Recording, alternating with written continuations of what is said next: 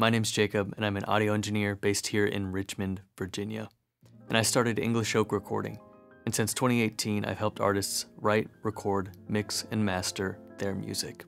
I like to pair natural and true to life sounds with my love for a high production value recording. And to hear what that sounds like, you can visit my website and listen to the music we've created here at English Oak Recording. Why did I create this YouTube channel? The internet and YouTube were a huge resource to me when I was learning how to become an audio engineer. And if you want to make audio engineering your career, I think it's important to have a good, reputable resource. I believe that there's a lot of misinformation on the internet about recording and being an audio engineer. And I think that can be really difficult for anybody who wants to make this a career, and I think it can make it difficult for them to decide if they want to make this a career. And it's important to me that we preserve the culture and the work ethic of the commercial recording studio. In 2024, a lot of artists are having to record their records out of necessity, and there's nothing wrong with that, and that's also how I started getting into recording. So we're seeing people who don't identify as a recording engineer first, they maybe identify as an artist who has to become a recording engineer in order to release their music. And that can position recording as a means to an end, when in reality, recording is an art form completely separate from writing music, which can kind of lead to this misinformation um, on the internet for anybody who wants to become a professional audio engineer. Equally as important as getting information off the internet, it's to understand where your information is coming from. What experience did I have before starting my own studio? In high school, I was lucky enough to take some recording and production classes at a trade school.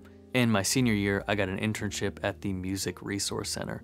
That's a recording studio and a place for 6th to 12th graders to make music and to create and connect, to form bands, learn about audio engineering, or to learn about any angle of music. Then after high school, I completed a certificate program. And so through those experiences, I found that audio engineering was something I wanted to commit my life to, and I had this dream of starting my own studio. But I quickly realized that the recording studio isn't something you can just apply for and get a job in.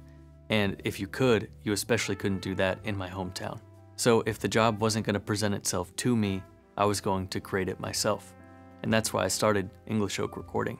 My first studio only had one input and I only had the ability to record vocals. But through that intense limitation, I was able to get really good at recording vocals. And at the same time, I wanted to continue learning more about this thing I loved so much. And that's where I turned to YouTube and the internet, and I was very fortunate that 5 to 10 years ago, there were only a few resources teaching about audio engineering on the internet.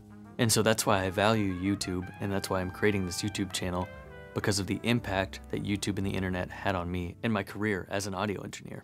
How do you find clients when you first start as an audio engineer?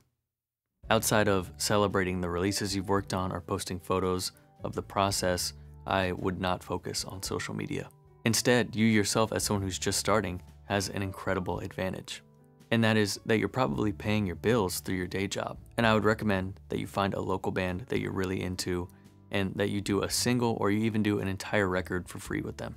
There's so many local bands out there that are so cool and so interesting that maybe don't have the resources to go into a studio and who are trying to record themselves. But if you're someone who's looking to be a standalone audio engineer or recording studio, this can be something that is mutually beneficial for the both of you.